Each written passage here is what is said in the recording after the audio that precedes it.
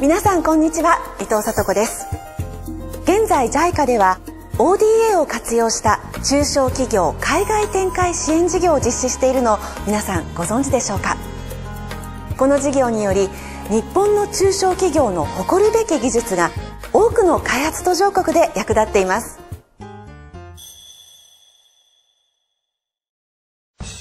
ベトナム・ダナン市。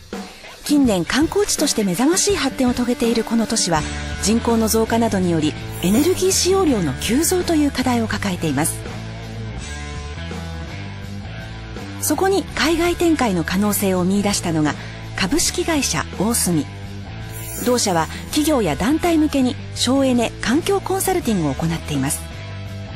省エネ診断を行い電気などのエネルギー使用量の削減策や環境負荷の改善策を企業や団体に提案して提案先企業のコスト削減に寄与してきた同社は自社の省エネ診断技術を活用しダナン市やベトナム企業の省エネ環境対策に貢献。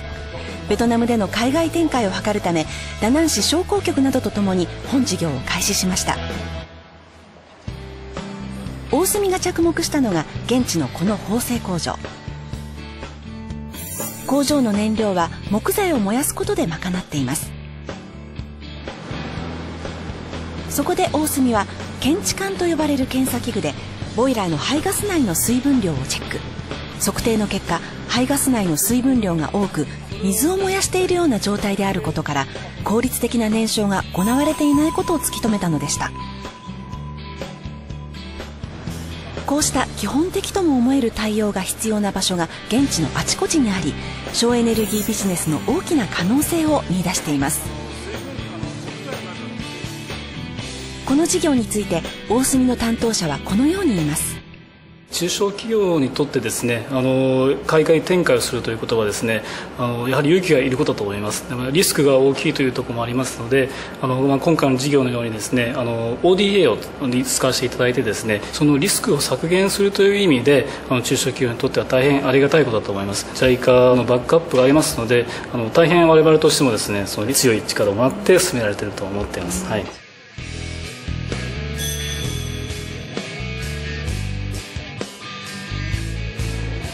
ベトナムゲアン省ビン市地方に診療所が多くあるにもかかわらず都市部の病院にばかり患者が集中し医療現場がパンク寸前の状態になっていました。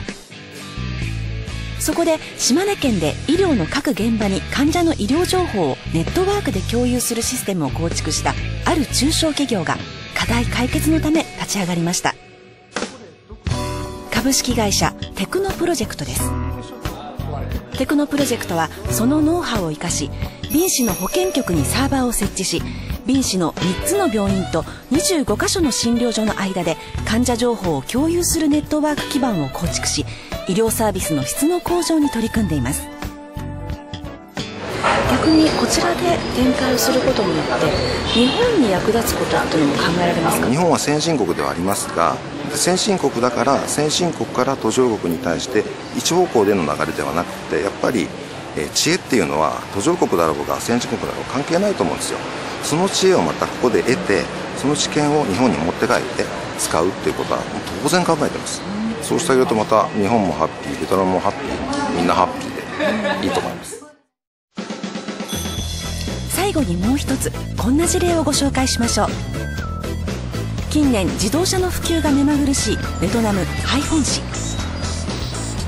ハイフォン市内に設置されているガソリンスタンドの地下タンクは1枚の鋼板で作られたタンクがほとんどです。タンクの壁が1枚しかないということは腐食によりガソリンが漏れてしまったりそれが原因で火災や環境汚染が起きたりするリスクが高く課題となっていました。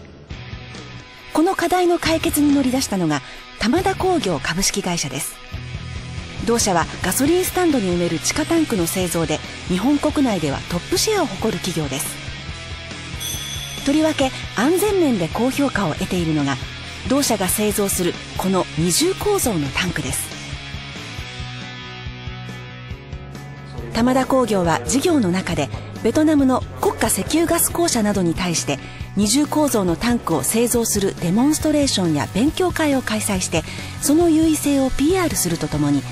土壌汚染やガソリンタンク規制に関する法整備についての提言も行いました。ベトナム側でも参省庁の方っていうのはポイントを取る時も JICA からの委託事業でやってることなので、えー、まあ会って話を聞いてくださいっていうことであの1年半前に何回も何回もあの行ってあの話させていただいてたんですけれどもそういうご縁は大切にしていきたいなと思いますベトナムでのポテンシャルを確認した玉田工業は本事業終了後の2015年1月よりご覧のような工場を建設し現地で従業員を雇用しながらベトナムでの生産を開始しています。ご覧のように多くの中小企業の皆さんが自社の技術を通して開発途上国の課題を解決し海外でのビジネス展開を進めています。これからも優れた製品技術サービスを持つ中小企業が JICA と連携して開発途上国の課題を解決していくことが期待されます。